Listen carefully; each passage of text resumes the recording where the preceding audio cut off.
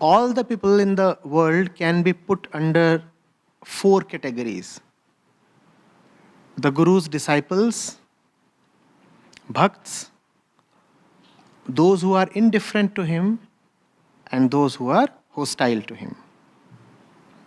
All these will be benefited by the existence of the Jnani, each in his own way and to various degrees. So, what are the four categories listed? Disciples, devotees, the indifferent ones, and the hostile ones. And Ramana Maharshi says all these four categories will be benefited by the existence of the Gyanis, but in different ways and to different degrees. So, what's the question? Acharya ji, how is the one who is indifferent to the Guru benefiting from the Guru's existence? How does a Guru's presence help everyone?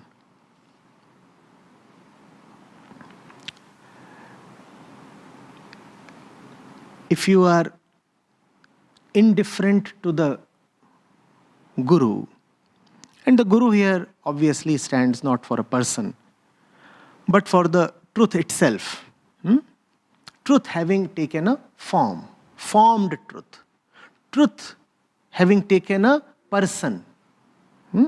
embodied truth. So if you are indifferent to the Guru, surely it is for a reason. You are not the one who has transcended all reasons. You belong to the second lowest category of people. You are not the transcendental one, or are you? There are the disciples, then there are the devotees, then there are the indifferent ones, and then there are the hostile ones. You are the indifferent one. If you are indifferent, surely there is a reason. What is the reason? No. If you had really felt anything for the Guru, then you would be in the fourth category. If you were the one who would have really felt the need to avoid the Guru, then you would have been in the fourth category. Avoidance is passive hatred. Hmm? You can't actively hate, so all you do is avoid.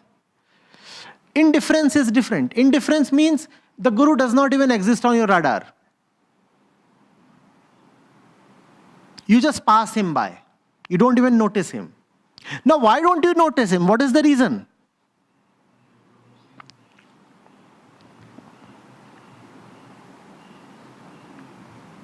The Buddha is passing through a market, saying a few things, and then there are those who are not even looking at him. Why? Correct. Because they have a reason, and the reason is the marketplace. That's the reason you are indifferent to the Guru because there are so many other things that are occupying you. The entire world is occupying you. Correct? So you are related to the world. You are related to this, you are related to that. Who are these people who are these institutions or places that you are related to? Are they all as indifferent to the Guru as you are? So let's say you are indifferent to the Guru because you have 10 other people to occupy you, correct? Now, are all these 10 people as indifferent to that Guru as you are? The probability is thin. Okay. Even if it so happens that all these 10 are very indifferent to the Guru, even each of these 10 will be related to another set of 10 people. Would those 10 into 10, which is 100 people, be all indifferent to the Guru? No. Even if those 100 people are all indifferent to the Guru, what you have now is a wider circle of thousands of people. Would all of them be indifferent to the Guru? No. So even if you are indifferent to the Guru, you will not be indifferent to someone who is not indifferent to the Guru. Okay. You are indifferent to the Guru, hmm? but let's say you have a friend circle. For how long your friend circle will remain indifferent to the Guru? Sooner than later, you will find that one of your friends, who was your reason to avoid the Guru, is now becoming your reason to hate the Guru. Okay, let me give an extreme example. There is this woman you are with. Hmm? And she is all over you. She's totally occupying your eyes, your mind, your entire body, your entire system. So you have no space for the Guru. You are totally full of this one person, the lady. What if you discover one day that your sweetheart is talking of the Guru? You cannot remain indifferent because the Guru is operating in the same space as the one inhabited by you. Sooner or later, he will catch up with you. For how long can you stay indifferent? From the Guru,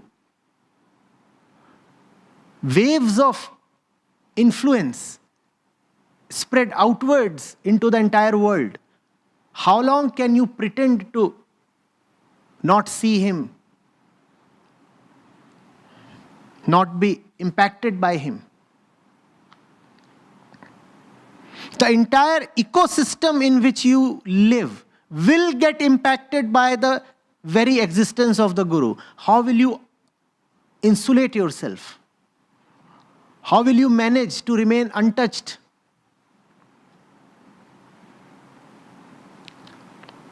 Are you getting it? But if you are indifferent, then the impact on you will be very indirect and passive which means the benefit that you will get will be very partial.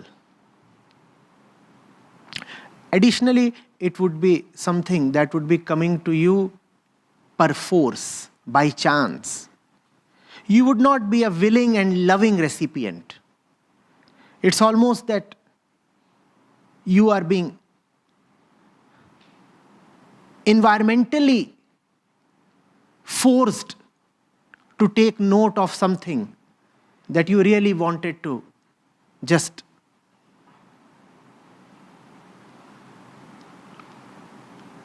not bother about at all. Hmm? That's how the indifferent one gets impacted by the presence of the Guru. Something more important needs to be discussed. This hierarchy that you have mentioned here places the hostile one at the bottom of the heap. It says at the highest level are the active disciples who actually spend life and time with the Guru. Then just below them are the devotees who are devoted to the Guru but do not actively spend time with him. And then come the indifferent ones, and then come the hostile ones. The pecking order has to be slightly different towards the bottom. The worst instances of minds are not the hostile ones, but the indifferent ones. The hostile ones will receive far greater benefits than the indifferent ones. In fact, if there is one thing that any guru wants to fight with all his might, it is indifference, not hostility if the teacher has to choose between public hostility and public indifference, he will happily choose hostility, not indifference. Indifference is the worst attitude you can have towards the teacher. Worst attitude. Hostility is not so bad because when you are hostile to the teacher, the teacher is occupying your mind.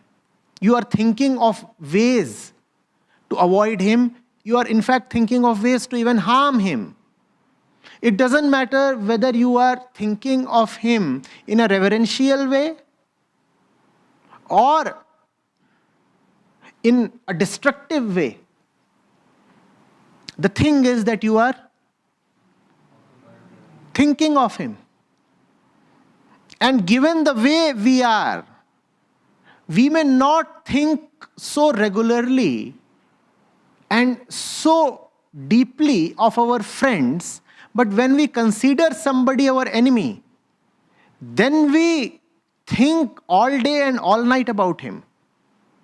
So the Guru has really succeeded in his own hidden way if he has managed to make you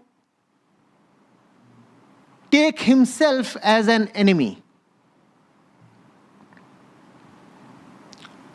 When is it that the Guru may feel worried about you? When you are not even hostile, when you are not even angry, when you are not even inimical. That's when the Guru says the situation is not right, something needs to be done. Hostility is all right.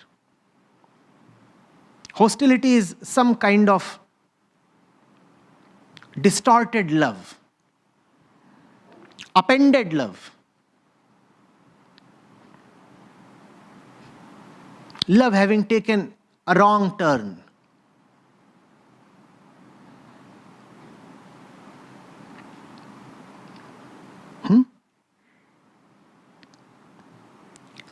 That is why you will find that so many teachers have had so many detractors and enemies.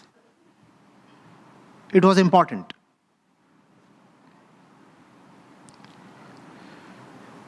Because there was no other way the teacher could have entered their consciousness.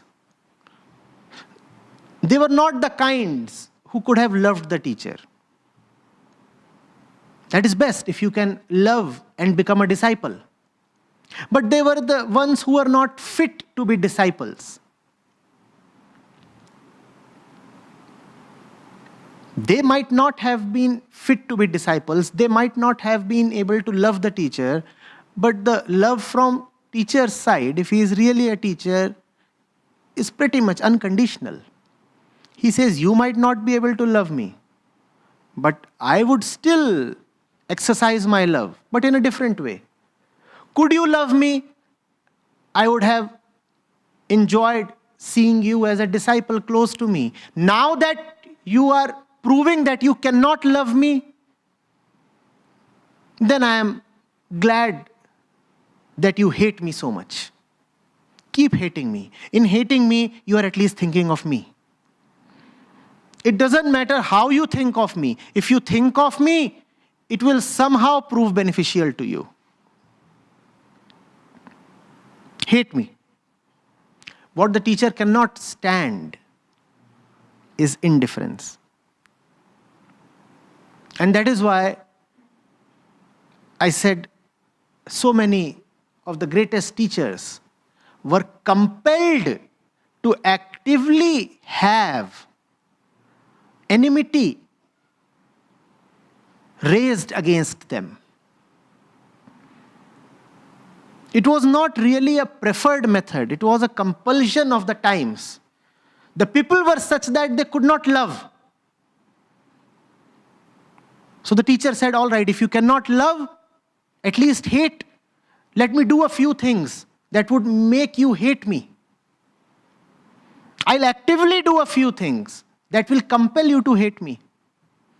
And it's not easy. It's not, not, not easy. It is not difficult to make you hate me. Anything that is real would offend you.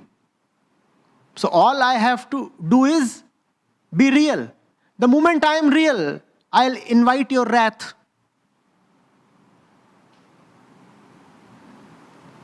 Fine, hate me. At least there would be something of consequence in your life. Otherwise, your life is all full of trivia and nonsense and all trite affairs. Hitting me, at least you will be able to say that you have some association with somebody worthwhile, even if that association is of hatred.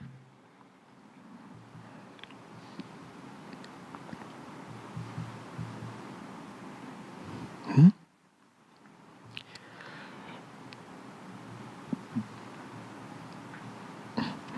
How does a guru's presence help everyone? It should be obvious how the guru's presence helps the disciple and the devotee. About the other two categories, we have talked in detail. Hmm? Right?